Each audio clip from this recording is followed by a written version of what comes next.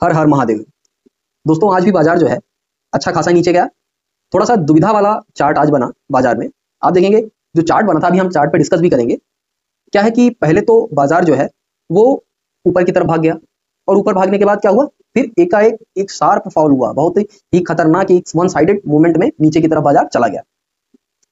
Closing आप देखेंगे तो बैंक निफ्टी की क्लोजिंग हुई है, इक्यावन हज़ार चार सौ बासठ पर, यानी तीन सौ तिरासी पॉइंट निगेटिव में जाके क्लोज हुआ है। हालाँकि इससे ज़्यादा भी निगेटिव चला गया था। और निफ्टी की बात करें तो पच्चीस हज़ार चौदह पे क्लोज हुआ है। दो सौ पैंतीस पॉइंट निगेटिव में क्लोज हुआ है। सेंटीमेंट की बात करें तो क्लियर दिख रहा है कि बाज़ार निगेटिव सेंटीमेंट में ही है अभी भी। क्या है? जियो इतना खतरनाक हो चुका है ना। मिडिल ईस्ट में जो ये लड़ाइयाँ चल रही हैं इसराइल वैसे ईरान हो गया लेबनान हो गया, ये सब क्या है ना, थोड़ा सा टेंशन क्रिएट कर रहे हैं। अब ईरान के साथ अगर ये लड़ाइयाँ चालू हो गई और अच्छा खासा इसराइल ने बॉम्बिंग या जो भी कर दिया और उनके जो ऑयल रिज़र्व हैं, अगर वो डिस्ट्रॉय कर दिए तो आप जान रहे हैं कि ऑयल जो कच्चे तेल का दाम है, वो मार्केट में बढ़ने लगेगा। हालाँकि वैसे भी ईरान जो है, तेल बेच नहीं पा रहा है बट वो रिज़र्व जो है, वो उसके बेकार हो जाएँगे। और आप देखेंगे, अगर ईरान के वो रिज़र्व बेकार हो गए तो आगे जाके क्या होगा? वो, उसे अगर मौका मिलेगा अभी बाहर तेल बेचने का तो उसके पास रिज़र्व ही नहीं होंगे तो बेचेगा क्या? ठीक है? तो थोड़ा सा ये मिडिल ईस्ट वाला जो बवाल चल रहा है, इससे ना सेंटीमेंट मार्केट का थोड़ा खराब है। बाकी सेबी का जो फंड आया है, सेबी के जो रूल्स आए हैं वो भी मार्केट का दिमाग खराब करके रखे हैं। तो थोड़ा यही सब जो टेंशन बन गए हैं इसी के कारण। अब आपको मैं यही बता दूँ एफ़ जो एफ़ हैं एफ़ ने आज के डेट में जो सेलिंग की है वो लगभग 9,800 करोड़ की की है ठीक है? और वहीं संभाला किसने? संभाला क्या बाज़ार तो नीचे ही चला गया ना? लेकिन फिर भी जो हमारे डी हैं डी जो है इन्होंने बाइंग की है कितनी की? ये 8,900 करोड़ की तो इन्होंने बाइंग कर दी है ठीक? तो ऑलमोस्ट ये कवर कर रहे हैं एफआईआई जो सेल कर रहे हैं उसको ये बाई करके डी हमारे जो डी है ये इसको कवर कर रहे हैं। बट फिर भी क्या है मार्जिन थोड़ा ज़्यादा रहता है तो बाज़ार गिरता है क्योंकि वन साइडेड जब सेलिंग चालू हो जाती है तो बाज़ार ऑटोमेटिक नीचे आएगा। थोड़ा सा हम चार्ट पे चल के देख लेते हैं क्या करना है कैसे करना है ठीक है क्या सेंटीमेंट बन रहे हैं तो चार्ट पे आके हम देखते हैं। यहाँ पे हम सबसे पहले देखेंगे डेली चार्ट में ठीक है डेली चार्ट पे थोड़ा नज़र डालेंगे उसके बाद हम फिर आएँगे। पहले हम देख लेते हैं वीकली चार्ट यहाँ से चेंज करते हैं आ जाते हैं हम वीकली चार्ट पे। वीकली चार्ट में क्या दिख रहा है आप क्या देखेंगे वीकली चार्ट तो हमारा वैसे ही बना हुआ है आप देखेंगे यहाँ देखिए अच्छा खासा मूवमेंट जो है आप, आज का लो अगर देखेंगे आप तो लो जो हो गया है, वो बन गया है इक्यावन हज़ार तीन सौ सैंतालीस का। ये इस वीक का जो करंट वीक चल रहा है, इसका लो बन चुका है इक्यावन हज़ार तीन सौ सैंतालीस का। ठीक है? बाकी से तो मतलब इन्हें कैंडल आप देख ही रहे हैं कहाँ क्लोज हो रहा है, ये नीचे तो नीचे की साइड में शिफ्ट हो रहा है नए नए शिफ्टिंग आ रही है नीचे की साइड में। डेली चार्ट में थोड़ा सा देखते हैं ठीक है? वीकली चार्ट में तो हमारा कैंडल वैसे ही बन रहा है, जैसे पहले बन रहा था। डेली चार्ट में क्या सेंटीमेंट्स है? अब डेली चार्ट के सेंटीमेंट आप देखेंगे तो आप देखिए, पिछले चार ट्रेडिंग सेशन का जो है क्लोजिंग रेड हुआ है। एक ट्रेडिंग सेशन आपको थोड़ा सा ग्रीन दिख रहा है बट वो किसी काम का ग्रीन नहीं है। क्यों? अब मैं दिखा दूँ आपको। देखिए, एक रेड ये बना। बुलिश बुलिश रेड कहूँ सॉरी बुलिश नहीं कहूँगा। स्ट्रॉन्ग बियरिश रेड ठीक? और दूसरा रेड ये बना, ये भी एक अच्छे खासे बॉडी को लेकर रेड बना था। उसके बाद आप देखेंगे तीसरी कैंडल जो बनी थी, ये क्लोज तो ग्रीन में हुई, लेकिन जो इसका सेंटीमेंट है, वो रेड वाला ही था, ठीक है? कैंडल ज़रूर ग्रीन बनी बट ये सेंटीमेंट इसका रेड वाला ही था। तो ये भी हम रेड ही मानेंगे। उसके बाद आप देखेंगे ये कैंडल बनी आपकी, ये भी अच्छी खासी रेड कैंडल है। उसके बाद आप देखेंगे, यहाँ पे जब आज का ट्रेडिंग सेशन में बाज़ार जो है यहाँ पे ओपन हुआ, इस जगह पे ओपन हुआ बायर्स इसको खींच के ऊपर ले गए, ठीक है? अप्रोक्सीमेट जहाँ तक है बावन हज़ार तीन सौ चार सौ के आसपास ले गए थे, लेकिन वहाँ से फिर एक प्रेशर आया सेलिंग का और मतलब बाज़ार सस्टेन नहीं हुआ और फिर बाज़ार जाके क्लोज हो गया इक्यावन हज़ार चार सौ बासठ पे, ठीक है? तो आप देख रहे हैं पिछले चार तीन दो पाँच ट्रेडिंग सेशन से बाज़ार निगेटिव में ही जा रहा है, ठीक है? निगेटिव क्लोजिंग दे रहा है पॉजिटिव क्लोजिंग अभी तक इसने नहीं दी है। और आप देखेंगे गैप डाउन खुल रहा है, सबसे अच्छी बात, आप देखेंगे यहाँ पे बाज़ार जो है, इस कैंडल के बाद यहाँ गैप डाउन खुला, ठीक? इस कैंडल के बाद आप देखेंगे यहाँ गैप डाउन खुला, हालाँकि थोड़ा सा ऊपर गया अलग बात है, लेकिन खुला गैप डाउन उसके बाद आप देखेंगे इतना बड़ा गैप डाउन खुला, और आज भी आप देखेंगे यहाँ गैप डाउन खुला। तो आप देखिए, पिछले पाँच दिनों से मार्केट जो है वो गैप डाउन खुल रहा है। सेंटीमेंट इतने हाई है सेलिंग के। चलिए, पंद्रह मिनट के चार्ट पे आते हैं, आप थोड़ा सा देखते हैं कि हम अगली प्लानिंग क्या कर सकते हैं अगले ट्रेडिंग सेशन के लिए। बाकी हमने जो पिछली प्लानिंग बनाई थी सेलिंग के साइड में मैं ज़्यादातर मैं यही सोच रहा था कि मैं सेलिंग का ट्रेड लूँगा। तो फ़र्स्ट ट्रेड मैंने लिया था, उसमें सेलिंग का ही मैंने लिया बट वहाँ पे क्या हुआ? बाज़ार ऊपर जाने लगा तो वहाँ पे मेरा स्टॉप लॉस हिट हो गया और मैं बाहर हो गया। लेकिन उसके बाद जो दूसरा ट्रेड मैंने लिया, दूसरे ट्रेड में मैंने पुट का ही ट्रेड लिया। कॉल में तो मैं घुसा ही नहीं। पुट का ही वेट किया आराम से, जब मुझे लगा कि हाँ आप कॉल का सारा कॉल वाले जितने थे, सारा अपना मज़ा ले चुके, और जब पुट में एंट्री का मौका मिला मुझे तो मैंने सेकंड ट्रेड में पुट में एंट्री की और ठीक ठाक प्रॉफिट लेके निकल गया, बहुत ज़्यादा देर नहीं रुका मैं। दो से तीन मिनट में ही निकल के भाग गया मैं। ज़्यादा देर इस ऑप्शन में ज़्यादा देर रुकने वाला झंझट नहीं पाता ठीक है? चलिए तो अभी आते हैं पंद्रह मिनट के चार्ट पे और देखते हैं कैसे हम प्लान करेंगे नेक्स्ट ट्रेडिंग सेशन में। चलिए तो पंद्रह मिनट का चार्ट यहाँ से लगाते हैं और यहाँ पे आप देखिए, पंद्रह मिनट के चार्ट में ये है हमारा चार्ट ठीक? पंद्रह मिनट चार्ट का सेंटीमेंट्स आप देख ही रहे हैं। थोड़ा सा स्कोर छोटा कर दें, दोनों चार्ट दिख जाए हमें। देखिए, अब यहाँ पर आप देखिए चार्ट पैटर्न समझना और पकड़ना कितना थोड़ा सा टफ हो जाता है।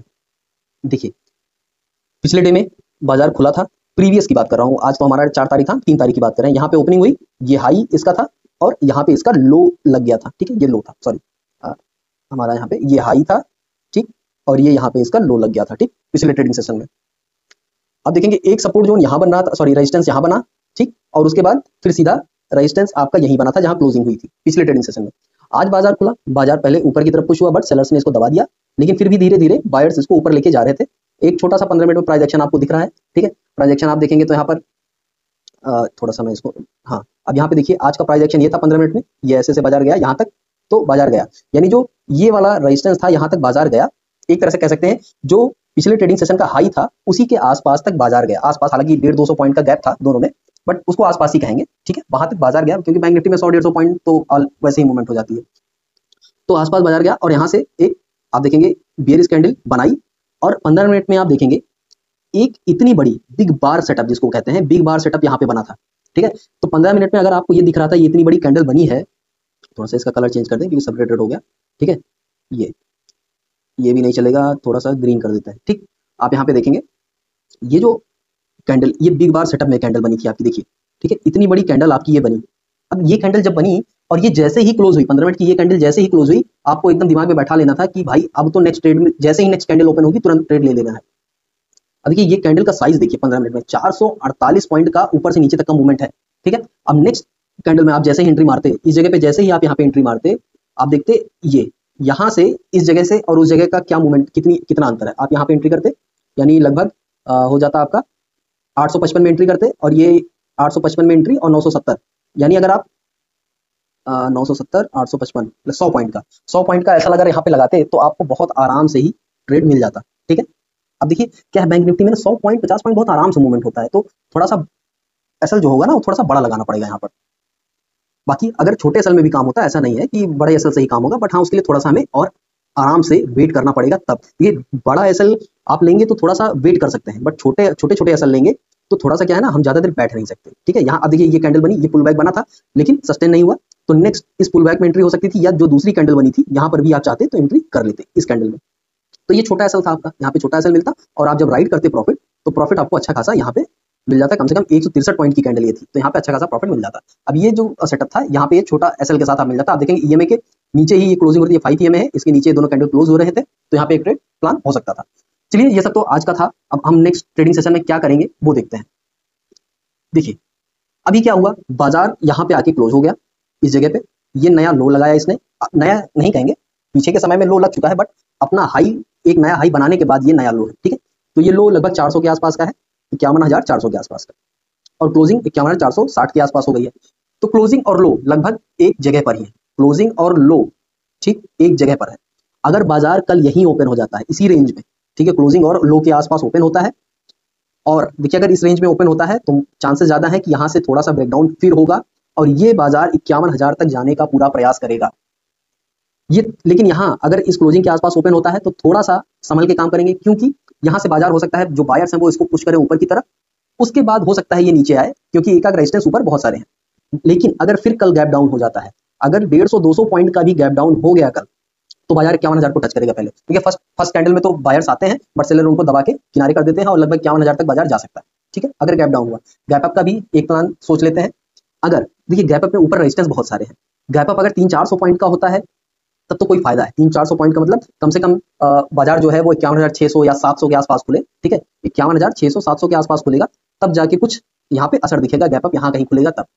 तो हो सकता है कि यहाँ से थोड़ा सा बायर इसको और पुश करें और पहला रेजिस्टेंस हमारा यही होगा, ठीक है? ये जो हमारा पहला रेजिस्टेंस होगा, बावन हज़ार हमारा साइकोलॉजिकल रेजिस्टेंस है और उसके बाद बावन हज़ार तीन सौ के आसपास हमारा एक रेजिस्टेंस है जो यहाँ पे एक बाज़ार ने पिछले आज के ट्रेडिंग सेशन में दिया, ठीक है? तो ये एक रेजिस्टेंस होगा। तो यहाँ तक का मूवमेंट हम पा सकते हैं, ठीक? लेकिन कब पाएँगे? जब गैप अप होगा और गैप अप के बाद बाज़ार वन साइड मूवमेंट होगा। वन साइड मूवमेंट का मतलब पहली पंद्रह मिनट की कैंडल अच्छी खासी बुलिश ग्रीन में क्लोज होगी तो। ठीक है? अब एक ही बार में एक ही मिनट में वहाँ पहुँच गया तो अलग बात है, उसका नहीं कुछ कह सकते। लेकिन पंद्रह मिनट की कैंडल अच्छी खासी क्लोज हो और एक प्राइस एक्शन बनता हुआ जाएगा तब। बाकी रेंज में खुलेगा तो रेंज का तो सीधा है। अगर क्लोजिंग के ऊपर ब्रेकआउट देगा तो ये आराम से कम से कम बावन तक जाने का प्रयास करेगा। ठीक? बावन तक जाने का प्रयास करेगा। और अगर नीचे लो, जो इसका लो है, इसके नीचे का ब्रेकआउट होता है तो इक्यावन हज़ार तक आसानी से जा सकता है? देखिए, यहाँ भी मैं कहूँगा कि पुट साइड का ही ट्रेड मैं प्लान करूँगा, अभी भी मैं ग्रीन यानी कॉल साइड में जाना पसंद नहीं करूँगा। ठीक है? यहाँ पे भी मैं, पिछले ट्रेडिंग सेशन में भी मैंने कहा था कि पुट साइड का ही ट्रेड में प्लान करूँगा, वो अलग बात है, मेरा स्टॉप लॉस हिट हुआ, क्योंकि थोड़ा सा बाज़ार ऊपर गया था, लेकिन फिर दूसरे सेकंड मीटिंग में आप देखेंगे, बारह बजे के बाद एक शार्प फॉल आ गया था। ठीक है? तो सेंटीमेंट क्या है ना, बाज़ार का थोड़ा निगेटिव है, इसलिए मैं पुट साइड पे ट्रेड देख रहा हूँ। चलिए, उम्मीद करता हूँ कि वीडियो और जानकारी दोनों अच्छी लगी होगी। तो अगर वीडियो अच्छी लगी हो, जानकारी पसंद आई हो तो वीडियो को शेयर करें और लाइक करें।